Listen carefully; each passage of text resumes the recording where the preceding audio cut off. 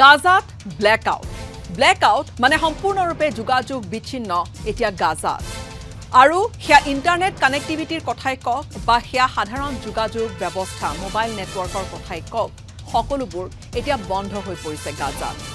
গাজাৰ পৰিৱেশ হয়তো নতুনকৈ কোৱাৰ প্ৰয়োজন নাই। সাত অক্টোবৰত যি ধৰণে গাজাৰ পৰা হামাছ সোমাই আহি হামাছে যি ধৰণে ইজৰাইলৰ ওপৰত আক্ৰমণ চলালে তাৰ পিছৰে পৰা ইজৰাইলে হামাছক শেষ কৰাৰ বাবে যি ধৰণে উঠি পৰি লাগিছে সেই সাত অক্টোবৰৰ পৰা এই ছটা সপ্তাহে গাজাত বিভিন্ন ঘাটিত হামাছৰ ইজৰাইলে আক্ৰমণ কৰি গৈছে। ইজৰাইল ডিফেন্স ফ'ৰ্চৰ আক্ৰমণত গাজাত এক প্ৰকাৰ বিভিন্ন ঠাইত ধ্বংসস্তূপ হৈ পৰিছে। ধ্বংসস্তূপত পৰিণত হৈছে গোটেই গাজাখন।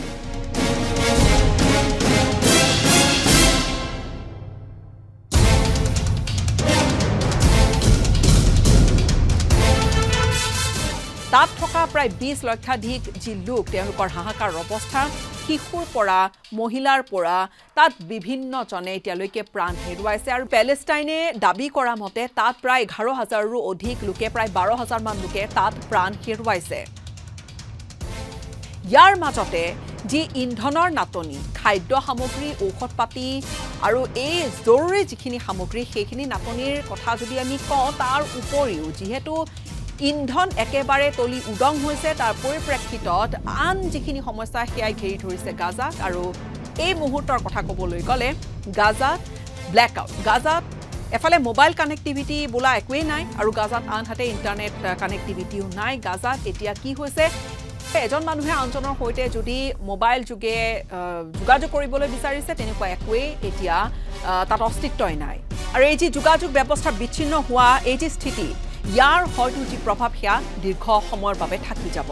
আৰু এই গোটেই যোগাযোগ ব্যৱস্থা বিচ্ছিন্ন হোৱাৰ পৰিপ্ৰেক্ষিতত কি হৈছে সম্পূৰ্ণ বহি বিশ্বৰ সৈতে যি যোগাযোগৰ মাধ্যম সেয়া বিচ্ছিন্ন হৈ গৈছে গাজাত থকা সাধাৰণ নাগৰিকৰ। উত্তৰ গাজাৰ ফালৰ পৰা গাজাত থকা অধিকাংশ লোকে এতিয়া প্ৰায় দক্ষিণ গাজালৈ স্থানান্তৰিত হৈ তাত কোনোমতে তেওঁলোকে সংঘৰ্ষৰ মাজত এটা তেওঁলোকে কোনোমতে জীয়াই আছে। জীয়াই থকাৰ সংঘৰ্ষ তেওঁলোকে কৰি আছে আৰু আনহাতে ইজৰাইলৰ হামাছক শেষ কৰাৰ যিখন যুঁজ সেই যুঁজখনো সম্পূৰ্ণৰূপে চলি আছে। ইজৰাইলৰ আক্ৰমণ হামাছৰ ওপৰত অব্যাহত আছে। তাৰ মাজতে যি এই গাজাৰ পৰিৱেশ যে সম্পূৰ্ণৰূপে যোগাযোগ বিচ্ছিন্ন হৈ পৰিছে মূলতঃ ইন্ধন শেষ হৈ যোৱাৰ পৰিপ্ৰেক্ষিততে। এক কথাত ক'বলৈ গ'লে গাজাত এতিয়া ভয়ংকৰ এক হিউমেনিটেৰিয়ান ক্ৰাইচিছৰ সৃষ্টি হৈছে।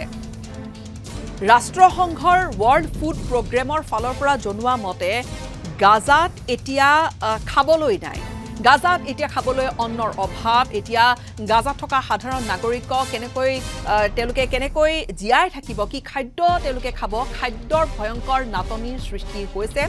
আৰু এফালে ইজৰাইলৰ যি এক হামাছৰ ওপৰত আক্ৰমণ চলি আছে তাৰ পৰিপ্ৰেক্ষিতত আৰু ইজিপ্তৰ ৰাফা সীমান্তদি যিখিনি খাদ্য গাজাৰ সাধাৰণ নাগৰিকৰ বাবে প্ৰেৰণ কৰা হৈছে বা লৈ অনা হৈছে সেয়া গাজাৰ সেয়া পৰ্যাপ্ত নহয়। গাজাত থকা লোকসকলক খুৱাবলৈ খুৱাই বোৱাই ৰাখিবলৈ সেয়া একেবাৰে নগণ্য। তেনে পৰিপ্ৰেক্ষিতত হয়তো পৰৱৰ্তী পৰ্যায়ত খাদ্যৰ এনেকুৱা এটা অভাৱনীয় নাটনিৰ সৃষ্টি হ'ব যে তাত হয়তো ভয়ানক এখন ছবি ওলাব গাজাত।